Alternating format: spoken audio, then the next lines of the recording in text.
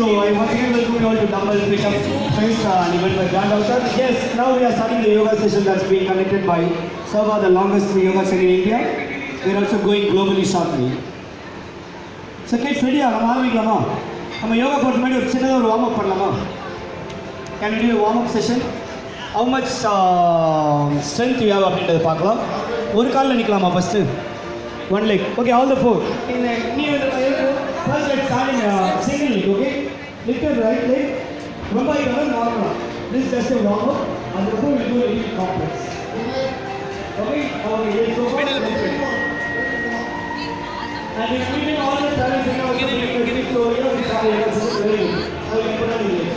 So we can to know, do quite a lot. It's just, we to actually, because to do. Okay, well, you have to know, பெரியவர்கள்